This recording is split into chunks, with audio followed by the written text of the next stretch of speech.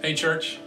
Uh, This is Pastor Ron here, and I just want to thank you for the warm welcome. And uh, it's great to be a part of the SonRise family. And today we're dealing with a lot of struggles, a lot of hard times. You know, we have the fires going on and the political climate, and so many things that make us feel hopeless. But one thing that I can hold on to, and I hope you can too, is what God has set out for us, what God, how God takes care of us, and the love of Christ that we get to feel and we get to share with one another. Today, we're going to be talking about Ephesians 5. We're going to be talking about being imitators of God and taking comfort in knowing that God is there for us. So enjoy and have a blessed Sunday.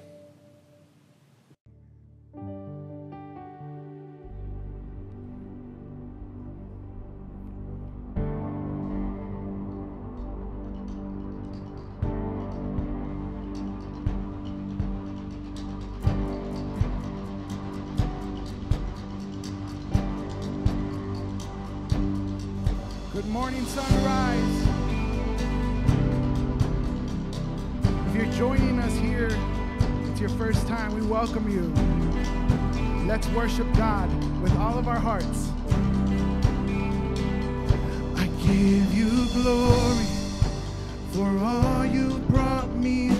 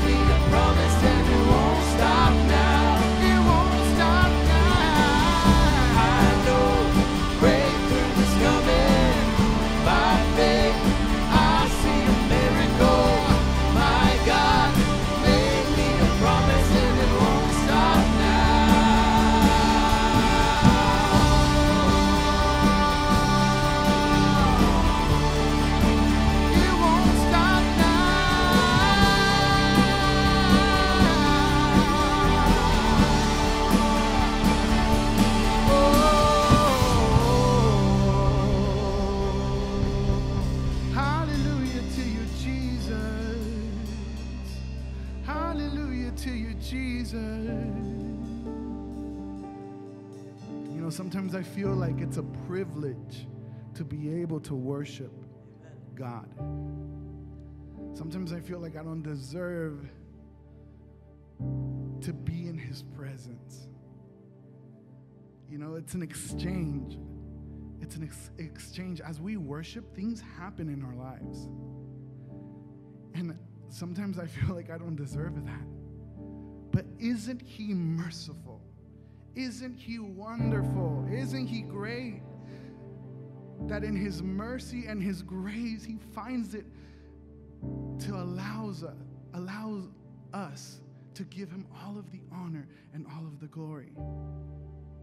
And as we worship, man, it's like we're in a different world. I encourage you. Maybe you haven't felt God's presence in a while. He's there right where you're at. He's here. He's in our midst because He loves us. And why don't we sing how much we need Him? Let's sing about how we want Him to be in our lives every single moment, every single day. Not just a song, but a prayer.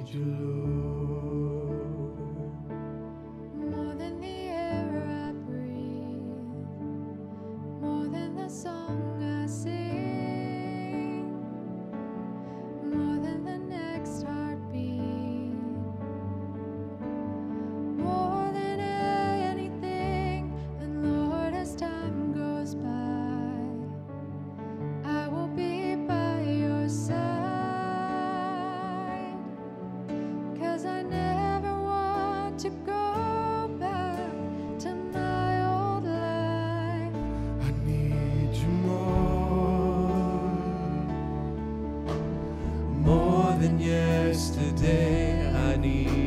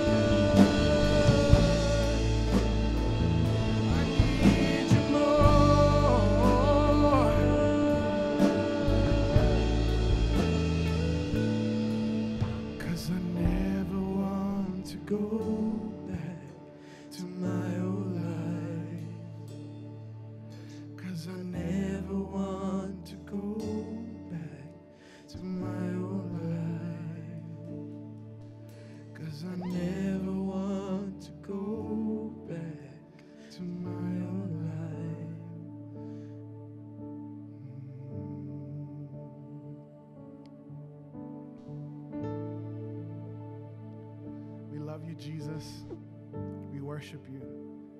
Thank you for your presence.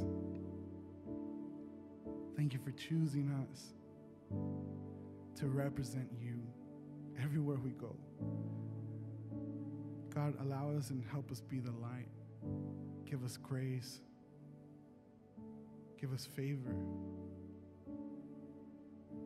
And I just pray that anyone who needs to hear hope in their lives, I pray that you would send someone to them right now in Jesus' name. That you would send us in Jesus' name. We love you. We bless you. We give you all the honor, all the glory in Jesus' name. Amen and amen. God bless you guys. What a super awesome worship set that was. We are so blessed to have you join us this morning. Also, just a quick reminder that you can still give to SonRise Community Fellowship. It'll be on the screen here. You can give in three different ways via text. You can also go to our website and give that way, or you can also mail to our P.O. Box. We're so glad to have you with us this morning. And now let's listen to the sermon from Pastor Dean. Have a blessed day. Well, thank you, worship team. Another awesome worship set. I love that song. And it goes right with what I'm speaking about and what we've been talking about these last few weeks was we've been going through the book of Ephesians. Paul is telling us that we don't have to go back to that old life. As we walk in the power and the presence of the Holy Spirit of God, we don't have to look back. We can look forward. We can allow the presence and power of the Holy Spirit of God to see us through. And I realize, and, and, and my goal through this whole series on Ephesians is, is I really wanted us to begin to develop some new spiritual growth habits in the way that we all read the Word of God together as a church. And that you come prepared for each sermon by reading along the week before. And so I'm excited about the feedback that I've been getting so far. And I just want to encourage you, even right now, open your Bibles up to the book of Ephesians. Uh, we're going to be in chapter 5 tonight, and uh, there's so much. And I know that in a series like that, I just have to pick and choose and kind of skim over different parts as I feel led to share. Uh, but we don't worry, we will definitely be revisiting the book of Ephesians lots of different times uh, over during our time together. God is so awesome.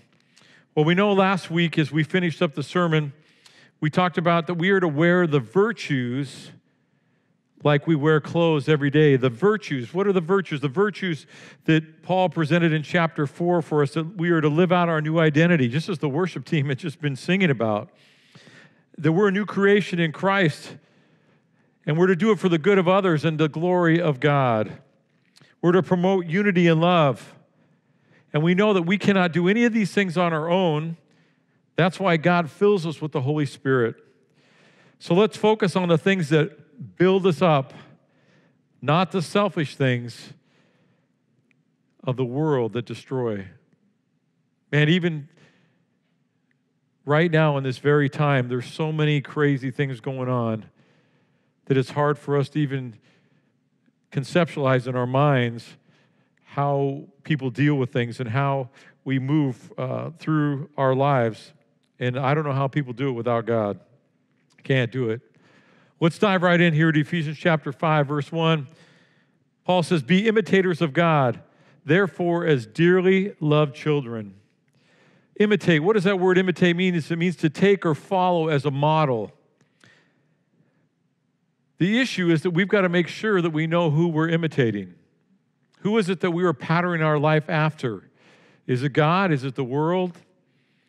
See, the Christian has no greater calling or purpose than imitating their Lord.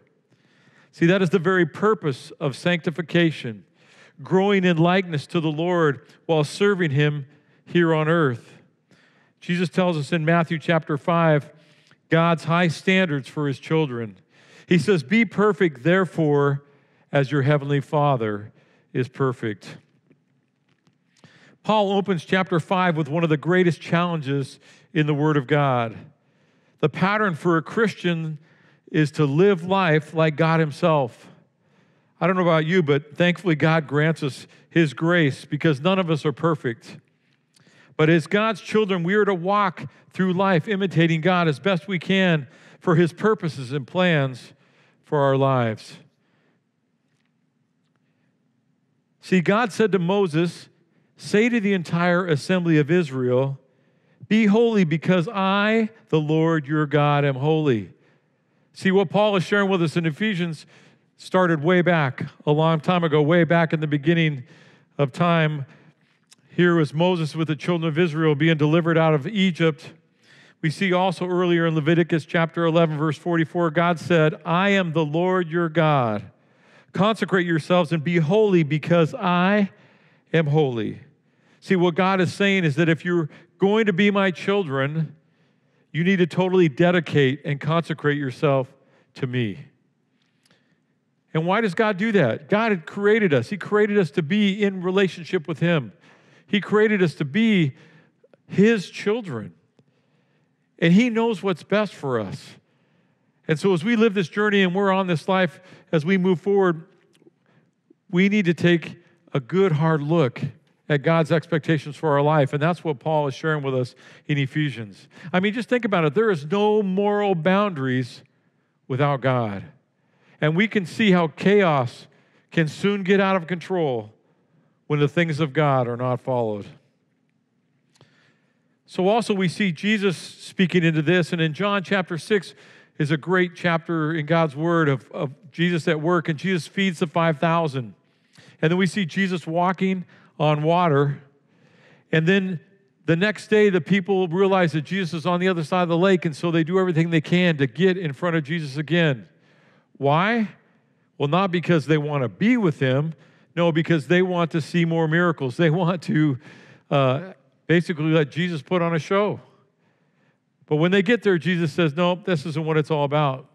This is about a relationship with me. I mean, he goes so far to say that if you you have to eat of my flesh and drink of my blood. And man they all freaked out and goes what is he talking about? But he wasn't talking about doing that physically. He was foreshadowing obviously for the last supper and communion and what that's all going to be about. But his point was that this is about being one with him being one with him. See jesus lays it out very clearly See, the work of God is to believe in the one God has sent. Eternal life is that total union with Christ, believing in Christ and living for Him. One of Paul's main themes throughout this book of Ephesians is walking in and with the Spirit of God. And then we see Jesus saying in verse 63 of John 6, He says, The Spirit gives life, the flesh counts for nothing. The words I have spoken to you are spirit and they are life. Jesus is the bread of life. Jesus is the light of the world. Jesus is our example to follow. As we get back here to Ephesians chapter 1, I just, I mean, chapter 5, verse 1 and 2, I wanted to lay out a little foundation there for us. But we're to be imitators of God, therefore, as dearly loved children, and live a life of love, just as Christ loved us and gave himself up for us as a fragrant offering and a sacrifice to God. See, we're to walk in love, is what Paul is telling us. We're to walk in love, love like the Father. See, the love of the Father, see, we are adopted as his children. We share in the love of the Father has for the Son. As believers, we now show God's fatherly love by great acts of compassion and mercy. Jesus said in Luke chapter 6, verse 36, Be merciful just as your Father also is merciful. See, we should be known as Christians, brothers and sisters, for our acts of mercy and compassion. And then Paul tells us that we need to walk in love, love like the Son, in that power of love that Jesus had. See, to understand the love of a father, we look to Jesus as our model. He is where we have, here is where we have to be honest. We all fall short consistently in our love for others. We battle with the flesh, we battle with selfishness, we battle with these things. It sounds good, but it's hard. See, we have to battle with the selfishness of the flesh. See, we would be crushed today under the weight of guilt if it were not for the cross of Jesus Christ. And then we see the pattern of love that involves giving ourselves away for the good of another. Love is just not sentimentalism. It's not just merely feeling sorry for someone. No, it involves sacrifice and action. How can we grow in love for others when we're only thinking about ourselves? See, we must think on Christ and think about Christ's love for us. Did we deserve it? Do others deserve it? See, that's the point, isn't it? None of us deserve it. But we are to live it out in the pattern of Christ. Actually, John tells us in 1 John 3:23 that we are to love one another as Jesus himself commanded us to do. Love one another. And then we see that Christ's death was a sacrificial and fragrant offering to God. Notice Christ gave himself up for us, but it was an offering to God. So let us be let it be a holy fragrance of love in your life as we care or as you care for others, practically, sincerely, generously. And we do it all for the glory of God, not for our glory, but for his glory. Amy Carmichael, a longtime missionary to India, said, One can give without loving, but one cannot love without giving. Man, what a powerful statement. One can give without loving, but one cannot love without giving. She's talking about the motive of the heart. See, may God make us people that love others like Christ loves us. Again, it all comes down to the motive of our hearts. What we see as we move forward in verses 3 through 14 that we're to walk in the light. We're to exalt, God by living morally pure. Verse 3 says, But among you there must not be even a hint of sexual immorality or any kind of impurity or of greed, because these are improper for God's holy people. Note the importance of rejecting these sins. There must not even be a hint of these sins. Why? See, because fornication and covetousness are absolutely in contrast to God's holiness and love. See, the real issue here is sin. Sin is the root of greed and selfishness. And we see that greed, greed, greed drives and fuels selfishness, and selfishness drives and fuels greed. Next thing you know, that you get all spun up in this desire, and you, it's all about I want it, I need it, I deserve it, I've got to have it. I don't care what I do to anybody else because it's all about me. Doesn't that sound familiar?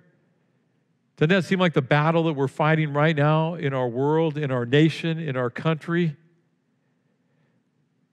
We are so consumed with the disease of me that we can't see out to what needs to happen for others. We can't sacrifice a little bit of our comfort so that someone else can be comfortable. And it breaks my heart when I see Christians that stand on their soapbox and get all righteous about themselves when they should be having an attitude of sacrifice and love for others. We have to be careful because what happens is we destroy our witness. People are looking at us all the time to see the love of Christ in and through us.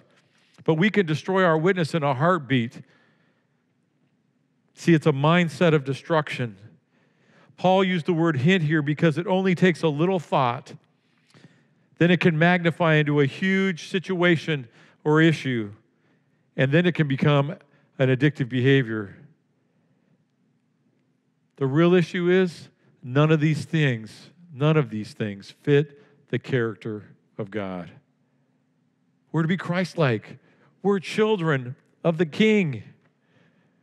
So important for us to take a look at a hard look at these things. Verse 4 and 5 says, Nor should be there any obscenity, foolish talk, or coarse joking, which are out of place, but rather thanksgiving. For of this you can be sure no immoral, impure, or greedy person, such a man is an idolater, has no inheritance in the kingdom of Christ and of God. Paul is laying it out here. He's saying, here's the deal. I mean, there's no doubt that this attitude toward immoral and all these things and persons is wrong. And again, it hurts our witness. And, and worse, it hurts other people. People need love, people need encouragement, people in the church, people in our families. I mean, one of the worst things that can happen is a, a, family that goes to church on Sundays, but unfortunately, there's a lot of strife in the home and there's not any love in the home. What do the kids see? What do the kids imitate? We're talking about imitating God here. We've got to be very careful. See, why is this person an idolater? Because their behavior exhibits a false image of who God is. It also puts the person's will above the will of God. This kind of behavior represents the creature of this world, not the creator, God of this world. But see, the problem is, even as Christians, we have to be careful about what we feed ourselves. See, we can read this and we can see, yeah, it's not good for us, but then we allow ourselves to observe these things. We allow movies to come into our very homes. We allow our children to watch things that don't bring honor and glory to God. And I know you're probably saying, wow, Pastor Dean, you're being really hard. No, I'm just telling you what the Word of God says. We cannot allow ourselves to be caught up in all these things and just say, well, it's okay. You know, I know better. How do we know how things influence even those around us and especially our younger children? So important for us to understand that we have to be careful on what we feed ourselves. Destruction is everywhere, and the enemy is not giving up. As a matter of fact, I believe the closer we get to Jesus' return, that he's at work double time trying to get as many souls as he can. So Ephesians 5, verse 6 and 7 says, Let no one deceive you with empty words. For because of such things, God's wrath comes on you, those who are disobedient. Therefore, do not be partners with them. See, we see it happening the increasing tolerance for immorality in our country, selfishness. I deserve to live how I want. But see, God has given us expectations for our life. See, because He knows the destruction that living out selfish desires causes. See, we have been warned. Jesus role modeled what life guided by the Holy Spirit looks like. We have become a world that operates in justification. See, if we can get enough people to agree wrong is right, then it's okay. Uh oh, Pastor Dean's starting to get a little political there. No, I'm not getting political. The Word of God is the truth. And many people today are ignoring it. Many people today are pushing it aside, saying it's not relevant. Well, I want you to know that the Word of God is relevant. And the Word of God tells us that it will stand for all eternity. All eternity. And so, just because a bunch of people agree that wrong is right doesn't mean it's right. We have the truth to guide our lives. See, we know that all that is based on what? On selfish sin. See, he's telling us not to partner here. Why? Because we have to be careful about influence. We know that one negative can bring down five positives. If we're able to influence a negative group, and that's great, and we're strong enough in our walk and mature enough in our walk with Christ, then that's important for us to do. But if we're not, we know that what usually happens is that negative influence brings down positives. And so we have to be careful and not to partner with those kind of people, but to try and role model and be a light to those kind of people. Verse 8 says, For you were once darkness, but now you are light in the Lord. See, before we were saved, before we had a relationship with Jesus Christ, we walked in darkness. We, some of us didn't even know any better. Most people didn't know any better. But see, this whole thing is that now that Christ is in our lives, that we're to live as children of light. That means we can't allow darkness to come in. Now, are we perfect? No. we mess up? We do. But the definition of Christian maturity is the amount of time it takes you to repent once you've fallen away from God. Because, see, if you don't repent right away and you don't turn your life back away from this evil stuff and you just keep trucking along and keep being with it a little bit here and a little bit there, next thing you know, you're going to be overwhelmed. See, the real significance of life is hidden from those who are consumed with the flesh. The Bible tells us in lots of ways that even the thing of, things of the cross are foolishness to, to those who do not believe. However, for the believer in Christ, the darkness is revealed in the light of God. Eternal life opens the heart and mind to God's purposes and significance of all things, now and for all eternity. Ephesians 5, verse 11 have nothing to do with the fruitless deeds of darkness, but rather expose them. We cannot allow ourselves to be deceived. It's so important for us to not allow ourselves to be deceived. And here it is. Paul lays it out here in verse 15 through 17. Be very careful then how you live, not as unwise, but as wise, making the most of every opportunity, because the days are evil. He doesn't say they're going to be evil. Someday it's going to happen. No, the days were evil then, and the days are evil now. And the days will be evil until Jesus Christ returns and cleanses this whole place from unrighteousness. So here's the deal for us we need to make the most of every opportunity. God gives us divine appointments to speak into other people's lives, divine appointments to be a light. We can't shy away from those. We have to be bold, we have to be strong in our walk, we have to share the hope that's within us. So important. So, therefore, do not be foolish, but understand what the Lord's will is.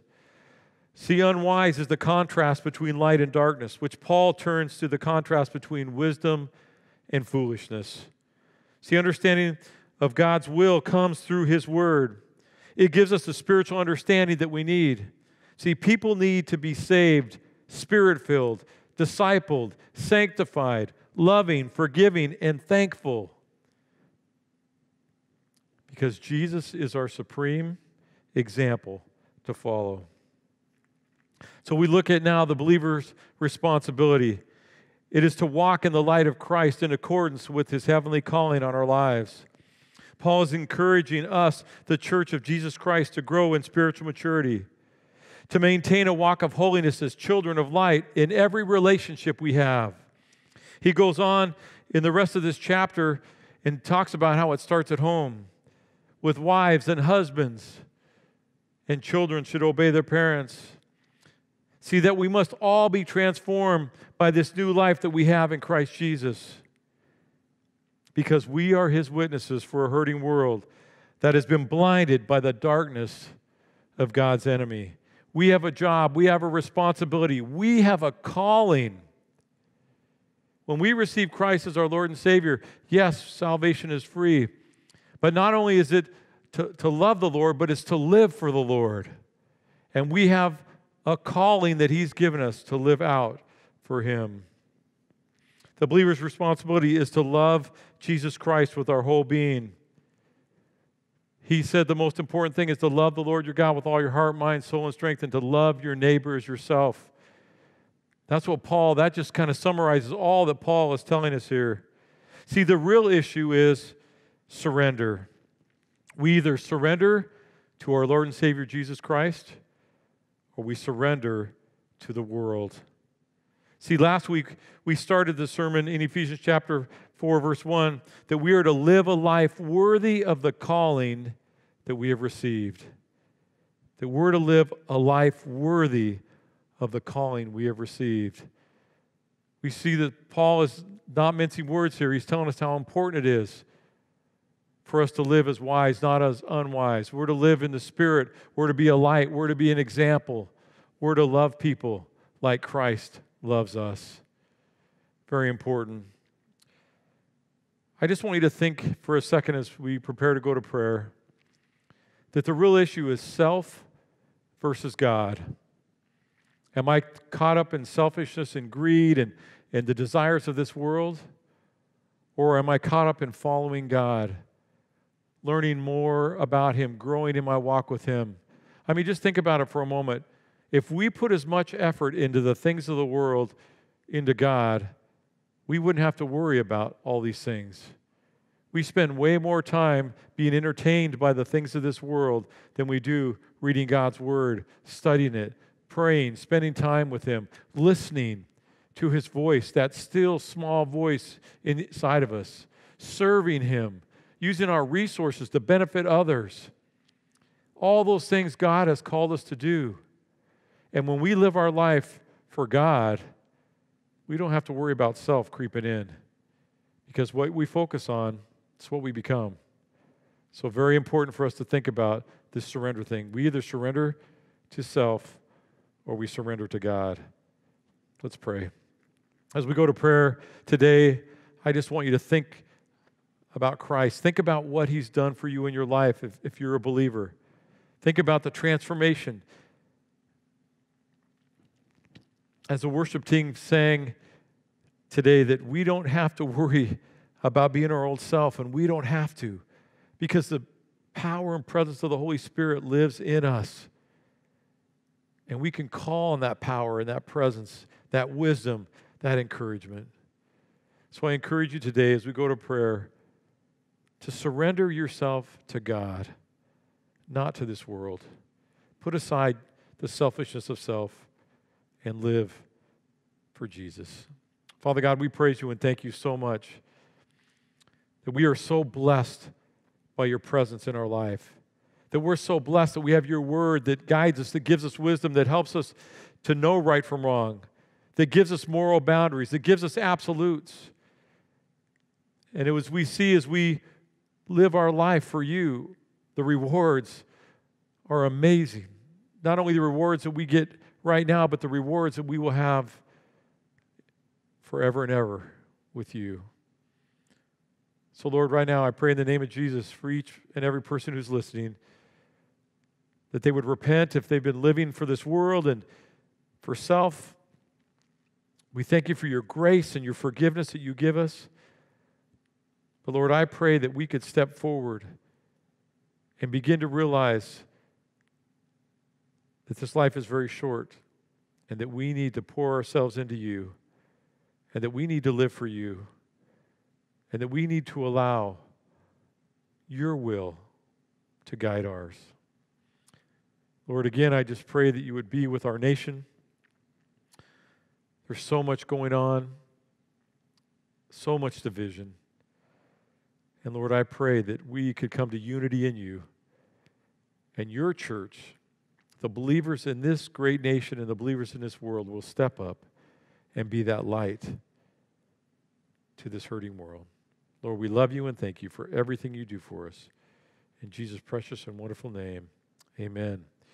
Amen. I want to encourage you that next week we'll be in Ephesians chapter 6, and we are going to focus on the power of the armor of God in your life.